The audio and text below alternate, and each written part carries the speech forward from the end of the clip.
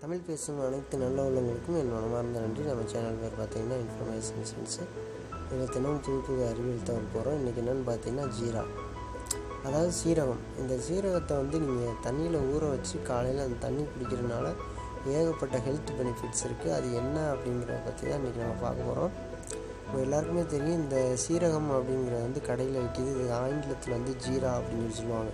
இது வந்து நைட் டயத்தில் நீங்கள் நல்ல தண்ணியில் சீரா சீரகத்தை கொஞ்சம் அள்ளி போட்டுருங்க. போட்டு நல்லா ஊற வச்சிட்டிங்கன்னா உங்களுக்கு கலர் வந்து இந்த மாதிரி தான் வரும்.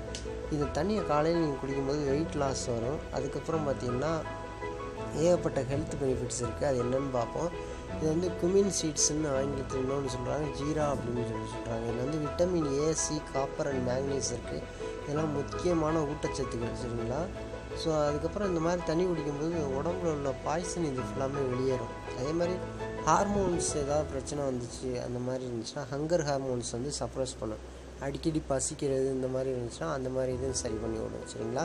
ஸோ இந்த மாதிரி ஏகப்பட்ட ஹெல்த் பெனிஃபிட்ஸ் வந்து இந்த சீரகம் இருக்குது அதனால் நீங்கள் சீரகத்தை வந்து தண்ணியில் ஊற வச்சு காலையில் எழுந்திரிச்சு அந்த தண்ணியை அப்படியே குடிங்க. ஸோ குடிச்சிங்கன்னு வச்சுக்கோங்களேன் உங்களுக்கு வந்து உடலில் வந்து டயபெட்டிஸ் பிரச்சனை இருந்துச்சுன்னா சரி பண்ணி விடும் அதே மாதிரி உங்களுக்கு வந்து கொலஸ்ட்ரால் இருந்துச்சுன்னா கொலஸ்ட்ராலை குறைச்சி அந்த பிரச்சனையும் உங்களுக்கு சரி பண்ணி விடும் ஸோ இதை ஃபுல்லாக இப்போ பாருங்கள் ஃபஸ்ட்டு வந்து இந்த இது குடிக்கும்போது லோ இன் கலரிஸ் இதில் வந்து கலோரிஸ் வந்து குறைவாக இருக்குது அதனால் பாடி வெயிட் அதிகமாக எயிட்ஸ் இன் டைஜஷன் அப்படின்னா என்னென்னு பார்த்தீங்கன்னா நமக்கு வந்து இப்போ உடம்புல வந்து இதில் நார்ச்சத்து அதிகமாக இருக்கனால மோஷன்ஸ் இதெல்லாம் நல்லா போகும். அப்புறம் இம்யூனிட்டியை வந்து இன்க்ரீஸ் பண்ணக்கூடிய தன்மை இதில் இருக்குது அதுக்கப்புறம் இன்க்ரீசஸ் மெட்டபாலிசம் அதாவது பாடியில் வந்து ஏதாவது ஒரு மெட்டபாலிசம் நடந்துச்சுன்னா உங்களுக்கு வந்து எக்ஸ்ட்ராவாக ஏதாவது டாக்ஸின்ஸ் ஏதாவது இருந்துச்சுன்னா அதை வெளியேற்றி விடும்.